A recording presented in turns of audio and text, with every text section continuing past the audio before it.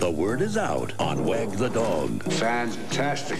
Rolling Stone calls Wag the Dog outrageous fun. You want me to produce your war? Not a war. It's a pageant. Siskel and Ebert give it two thumbs up, way up. Nominated for three Golden Globes, including Best Actor, Dustin Hoffman, and Best Picture. Now they're getting. Dustin Hoffman, Robert De Niro in a Barry Levinson film. You're the man. Wag the Dog. What could I do to top this? Rated R. Starts Friday everywhere.